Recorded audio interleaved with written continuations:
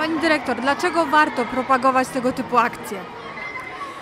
No uważam, że nasza szkoła jako szkoła integracyjna zawsze propaguje akcje, które służą y, dzieciom pomocy dla tych dzieci w ich, ich życiu, w ich nauce, ich zachowaniu. Akcja zaczęła się już wczoraj. Y, warsztaty przeprowadziła w naszej szkole pani psycholog Joanna Piechowicz. Warsztatach uczestniczyli rodzice y, dzieci autystycznych. Dziećmi zajęły się wychowawcy, wychowawczynie y, naszej szkoły.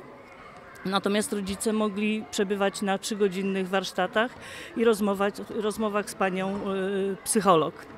Dzisiejszy dzień miał być troszeczkę inaczej zorganizowany, miał być meeting na boisku szkolnych. Wiadomo, aura nie sprzyja, więc zebraliśmy się, zebraliśmy się tutaj w auli.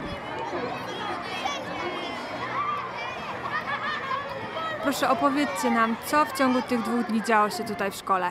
Wczoraj e, od godziny 16 do 19 odbyły się e, w naszej szkole warsztaty mm, świadomego rodzicielstwa dla rodziców, opiekunów e, dzieci nie tylko z autyzmem, ale mm, jakby dla dzieci z wszelkimi zaburzeniami zachowania, zaburzeniami e, rozwojowymi.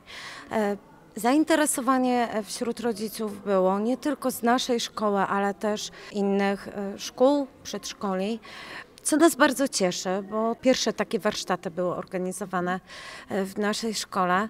W związku z tym jakby większa radość, tak, że, że zainteresowanie było, że rodzice przede wszystkim po tych warsztatach e, kiedy weszli, oczywiście powiedzieli, że było to za krótko, trzy godziny i, i było za krótko, jednak e, było wiele tematów do, do omówienia i wydaje mi się, że takie warsztaty są potrzebne e, dla rodziców, tak, żeby oni wiedzieli, że jest to wsparcie e, dla nich, mm, że, że jakby mogą liczyć na, na wsparcie od, od specjalistów, którzy ich wysłuchają, pomogą.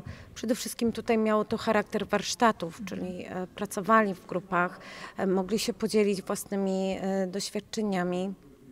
I taki był jakby e, cel tych, e, tych warsztatów. Jakie korzyści wynikają z przeprowadzenia tego typu akcji?